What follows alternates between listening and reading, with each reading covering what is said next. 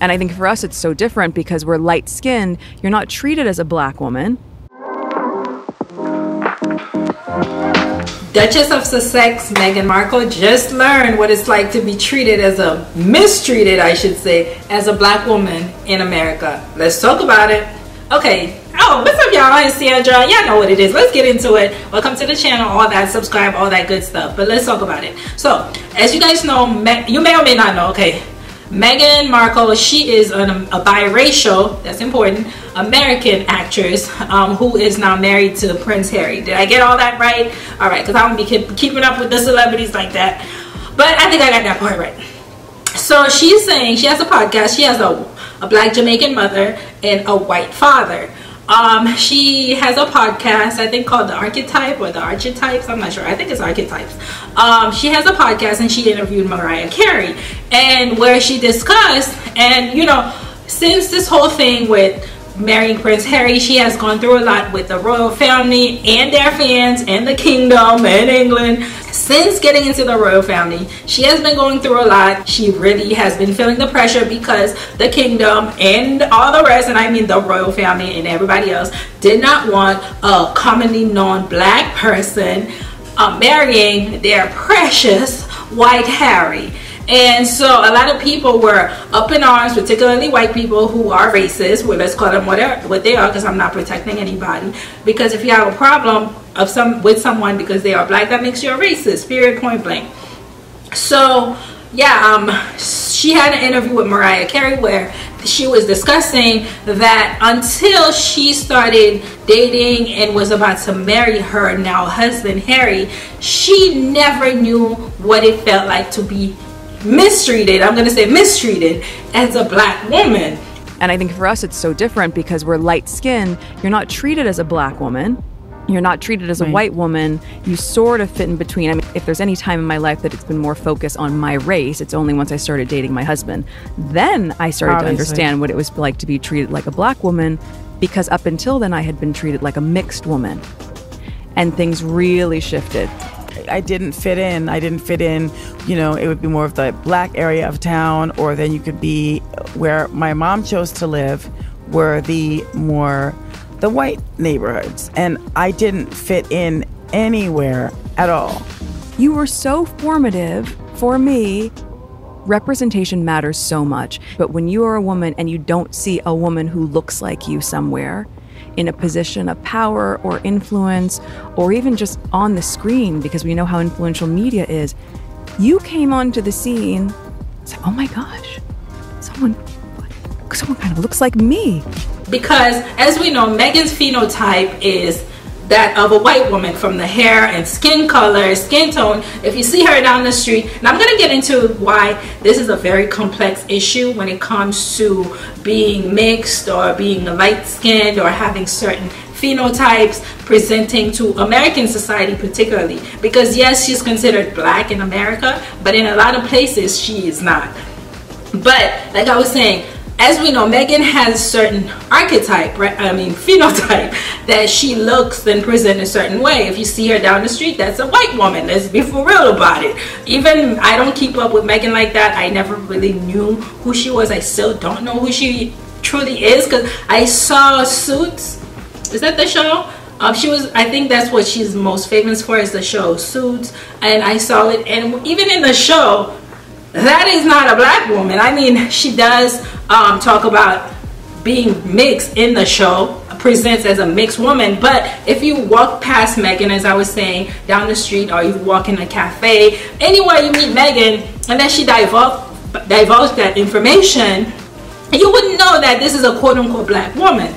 Same for Mariah Carey. Come on, she's white presenting what is considered to be a white woman in America blonde hair. I mean, I'm not trying to call them out in a negative light, but I'm saying let's have an honest conversation about race, skin color, skin texture, hair color, hair texture when it comes to what is considered to be black in America. We're going to discuss all this information, right? So again, she was saying to Mariah, Mariah Carey, much as much like herself, she was basically relating to Mariah Carey, saying, "You and I, yes, we are biracial, which and mixed with black. However, we are not black or mixed presenting. So our treatments and our movements through society are different than that of a heavily melanated presenting woman who is considered to be black in America. A lot of people were upset with what Meghan said because they thought, oh, how dare you? You were supposed to be black. A lot of people considered her, oh my gosh, this is the black princess. And I bet you, I can guarantee you, Meghan never thought of herself as a black princess. Okay, maybe now it's been forced down her throat. I, not to negate her experience and or the fact that she is aware of how black women are treated. We're gonna discuss that also. But let's be real. I guarantee you, Meghan Markle never thought of herself as, oh, I'm a black woman. I'm gonna be the first black princess. She has been allowed to move through society pr pretty fluidly without having to having to deal with barriers and obstacles that would um, I'm trying to say that would kind of harden her experience. I also want to make the point that preferential treatment in society is not solely on the basis of being white or mixed. I want to reinforce that the uh, ideology is that the lighter your skin tone is, even if you have two black parents, the lighter your skin tone is, the more your hair type not only looks like white, quote unquote, white hair, as long as it does not resemble what is considered to be black hair, then your treatment in society changes significantly and you get better treatment automatically versus someone who is completely dark skinned and have what is considered to be black textured hair. I really want this point to be understood. I'm sure her not being black presenting but uh, while also being considered black offered her a lot of opportunities with companies that want to say that they are diverse without having to be diverse and not having to actually hire someone who's visually consider what is considered to be black. And I'm saying what is considered to be black because blackness is different outside of America. I want Americans to truly understand that. In my country, I am from Haiti. I am I am black, right? But I could be standing to someone who is darker than me Okay, in my country, I am black. I have cousins who are lighter skinned and I have cousins who are darker skinned. Skin color, right? More melanated or less melanated. Okay, whatever. My mom is less melanated. She, in my country, they would refer to her as red. Like her skin tone is not black. Not that we don't know that we're black. Not that we don't love being black. Not that we don't embrace blackness, but we describe people in my country as what is visually available. For example, if Meghan Markle walked somewhere in Haiti, they were asking you to describe her, they would say, you know, somebody red or a white woman because that's what the skin tone is presenting, what is considered to be white. But in America, as long as you have any drop, there's that one drop rule, right? Um, as long as you have one drop of blackness in you, then you are considered to be black. Let me tell you, America, what is is and was more two races for the Nazis. When the Nazis came to America, um, because they wanted to, you know, go worldwide, right? Um, they they were doing their thing, seeing how black people are treated. Yeah, that's where they belong. That's how they belong. But the Nazis came across the rule of the one drop rule, and they were like, these motherfuckers are really crazy. One drop rule. If you have one drop, that man, y'all too, y'all too racist for me. So imagine America being too racist for the Nazis. Let that marinate. Let that marinate. Okay, so Meghan Markle is considered a black woman in America. In Brazil, she would not be. In Haiti, she would not be. Does that mean that doesn't mean she doesn't belong um, to the black race. but it's all about visual appearance. So the fact that she has been able to maneuver through society in America as a white woman, and I'm sure she took full advantage of that, right?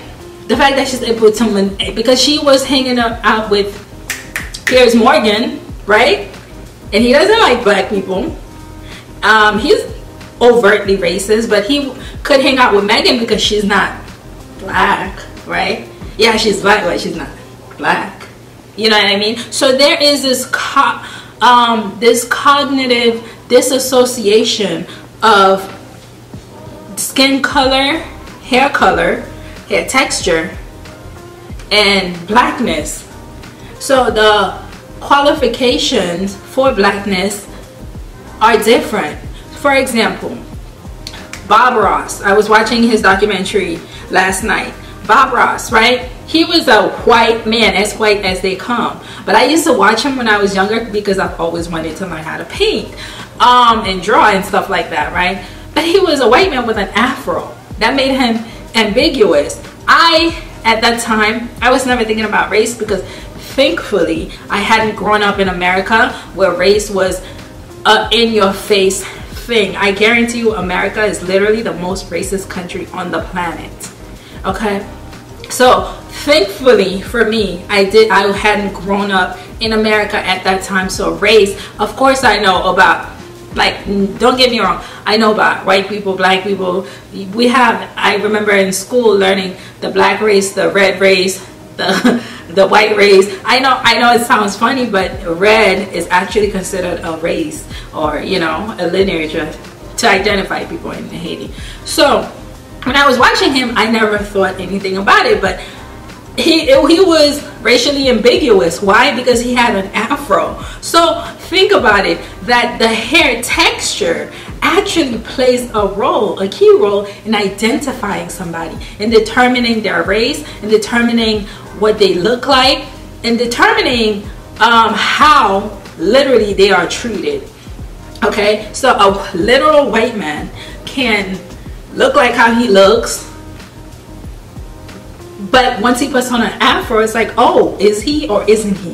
And Meghan had that advantage there because not only there are a lot of mixed people that look that are as light or un I don't want to say melanin deficient, but as Meghan, right, that don't have that much melanin. However, those people, excuse me, however, those people can still um, However, those people, because of their hair texture, they have curly hair or they have more of um, Western, West African textured hair. Um, the most popular type of West African textured hair because there are different types, right? Um, Meghan had what is considered to be presenting like, you know, a non-black person because she could be Latina and mind you, being Latina is not a race. See what I mean? Um, so, but she could be anything, but she is not black presenting. Now, I want to make this clear. I don't want to take away anything away from Meghan and her experience. I did see some videos of her where she actually speaks against racism. She's actually witnessed um, her mother being called the N-word. And I was called, I've been called the N-word. And until I came to America, this was never even a thing. I'm telling you, America is so stupid. But you know, and she's actually spoken up against it. She's actually talked about her privilege that she acknowledges, hey, I know I look like this, and I know this makes it easier for me to be accepted in American culture and in white culture particularly. And I'm sure she, I don't know who she was married to. I know she was married before. I don't know if he's white or anything. I wouldn't be surprised that she dated white or non-black men. Okay, so I'm sure she never had felt the pressure of not being wanted, feeling made to feel unwelcome, made to feel like you're less than. Let me clarify black women are not undeserving. We are literally the most popping. Nobody, and I say nobody compares to black women. I want to make that clear. No matter what people say, no matter how they try to make us, feel, and they try to emulate us, you know, when they're talking or when they want to, everything else, let's be very clear. We are we are the prototype. We are the blueprint. Let's be clear about that. However, Meghan has actually spoken. I mean, she never has never felt what it's like to what? I can't come here because of my skin color? Or you don't approve of me because of my skin color? Or it's not even her skin color. That's the funny thing, right? So then what is race? Is it skin color? Is it hair type? Is it hair color? Is it hair texture? Is it phenotype? Because it's not, or is it just the fact that you are a product of somebody from such a race? Now, we do not accept descendants of such a race because black women we carry what's called the Eve gene. I carry the gene where I literally can reproduce any type of existing human looking person in the world. That no one else has that gene.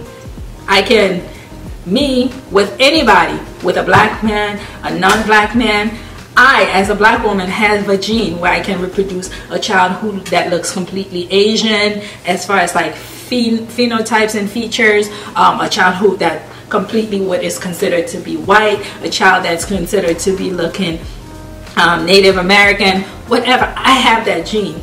So I'm sure the royal family knows this. As a black woman, you get your um, eggs from your mother, right? And her mother is black. So there is, even though Meghan is white presenting, there is a real possibility that she could have a child who is black presenting. And they did they don't want any part of that. They know that. And like I said, when you take actors like Mariah Carey, a bunch of mixed people who don't look as what is considered to be black in America, um, they get farther in life. That's the reality, and we have to be honest about that. And Zendaya, actresses like Zendaya, I'm sure she's talented, um, but let's not negate the fact that Zendaya is a white presenting woman, as one that is super thin. What they look for as far as representation of the ideal white woman is supposed to look like. Not you're not you don't have to be that skinny. That's not what I'm saying. But we know American culture has always valued that they have never truly appreciated curves and you know fullness on different women especially the women's that the women that are the archetype for that body type which are mostly mel heavily melanated women so like i was saying Zendaya, she's super talented, but she's had a lot of opportunities because of the fact that, despite the fact that she's quote unquote black, she's not black presenting to the world. Zendaya herself has spoken about this. She has acknowledged this, her privilege. She has said that um, she has declined roles that are de uh, designed for darker skinned women that, that have been offered to her. So imagine that. Chris Rock had to fight for them to make his mother black on the show. Imagine Chris Rock, who is what is considered to be black presenting, having to fight for him to get his mother, a black mother. Like his mother is black, but they want to hire a lighter skinned person. Issa Rae, um, awkward black girl. She was making the show Insecure. They wanted her to have um, one of my favorite people, um, Lauren, Lauren London. I love Lauren London, but um, let's acknowledge, despite despite the fact that she's considered to be black, she is a very light-skinned woman, and this society, particularly in America, really focuses on literally hair texture and skin color. I'm not negating the fact that racism um, exists outside of America and worldwide, but I'm saying it's more prominent and prevalent in America for a country that is supposed to be so heavily diverse. For example, countries, Asian countries, right? When black people there, they treat you like you're a spectacle. They want to inspect you because you're like a foreign object, and which is really racist and disrespectful. But uh, in those countries, there aren't, aren't as many different people, right? Not on TV, not in person. So they're intrigued. That's not to justify it, but I'm saying for a country that's supposed to be so advanced, for a country that's supposed to be better, more tolerant, there isn't such America still remains fundamentally racist on purpose. So, like I was saying, I know um, I'm not trying to take away from any of lighter skin tone women, but we need to have an uh, a real conversation because it really bothers me when, and I'm not saying that they're not black or anything like that, but I'm saying someone like me, I am black, but in some places, if I were to be described, they're not gonna say, oh, a woman, a black woman, they, would say, oh, she's a brown skinned woman. Da, da, da. If someone is actually black or much darker to what people consider black, they're like, oh yeah, she's black. Oh, she's a red woman. Or there's a term we say clear woman, but not clear, but just means lighter woman in my country. So blackness is sub, it's subjective um, worldwide and Meghan, I keep wanting to say Megan Thee Stallion, just learn. So instead of being upset with her, let's really, I encourage, I would love to encourage conversations like this because then it opens the possibility for change, right? For progress, for doing something about it. Because yeah, the truth is, heavily melanated women do not get the same treatment and opportunities as other women do and i'm so i'm kind of glad that she even spoke about it because she's comfortable enough to talk about it because a lot of people wouldn't don't even want to acknowledge their privilege because they think oh that's taken away from my hard work or my talent but no that's not true you are still talented there are other talented people who were negated because of the fact that they don't present as what um, racist America want them to present to. Anyway, you guys, I, I know I didn't want to make this video too long, but let me know your thoughts in the comments. Like, comment, share, and subscribe. Make sure um, you follow me on uh, Sandra Said What. I will, I don't know, I will talk to you soon, and I hope you guys are well. Thank you so much for watching. Bye.